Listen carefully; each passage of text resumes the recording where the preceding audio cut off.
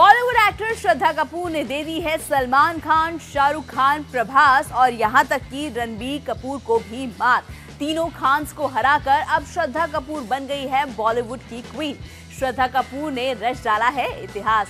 Hello, नमस्कार, आप सभी का बहुत बहुत स्वागत है इस चैनल में। मैं हूँ आपकी दोस्त पूनम अधिकारी। जी हाँ शक्ति कपूर की लाडली बेटी श्रद्धा कपूर ने वो काम कर दिया है जो अब तक आलिया भट्ट, दीपिका पादुकोण, कटरीना कैफ कोई भी नहीं कर पाई। जी हाँ श्रद्धा कपूर बन चुकी है अब बॉलीवुड की क्वीन क्योंकि उन्होंने एक ऐसा इतिहास रच डाला है जो अब तक सिर्फ़ और सिर्फ़ बॉलीवुड में तीनों खान से, यानी शाहरुख खान, आमिर खान और सलमान खान ही रच सकते थे।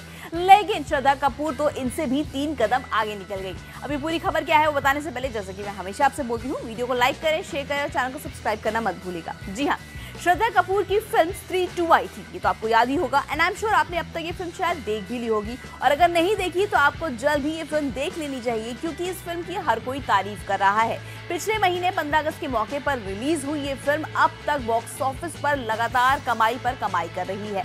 आपको बता दें, इस फ़िल्म को रिलीज़ हुए अभी सिर्फ़ एक महीने और नौ दिन का ही वक्त बीता है। लेकिन इतने कम वक्त में अभी से ही श्रद्धा कपूर की ये फ़िल्म स्त्री टू 600 करोड़ से भी ज़्यादा की कमाई कर चुकी है।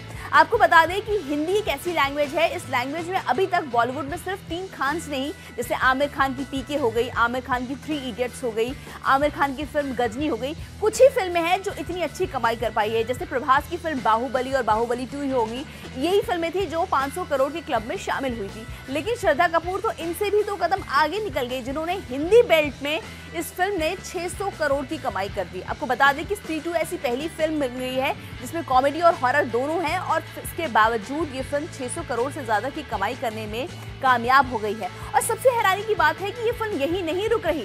लगातार इस फ़िल्म की जो कमाई के आंकड़े हैं, वो बढ़ते जा रहे हैं। इस फ़िल्म में श्रद्धा कपूर हो, राजकुमार राव हो, सबने बेहतरीन एक्टिंग की है। और इस फ़िल्म में चाहे एक्टिंग हो, चाहे गाने हो, अक्षय कुमार का भी कैमियो रोल नज़र आया, साथ ही वरुण धवन भी एक कैमियो करते नज़र आए और इन सब चीज़ों ने मिलकर इस फ़िल्म को सुपर डुपर हिट बना दिया।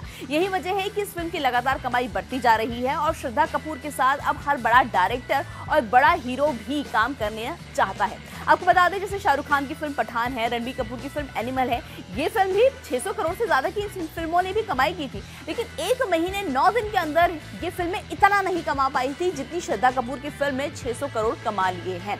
अब आगे श्रद्धा कपूर की ये फ़िल्म और कौन कौन से रिकॉर्ड कायम करती है, ये देखना दिलचस्प होगा। फ़िलहाल आज के बस वीडियो में इतना ही। मुझे उम्मीद है आपको ये वीडियो अच्छा लगा होगा। वीडियो को लाइक करें, शेयर करें और चैनल को सब्सक्राइब करना मत भूलिएगा।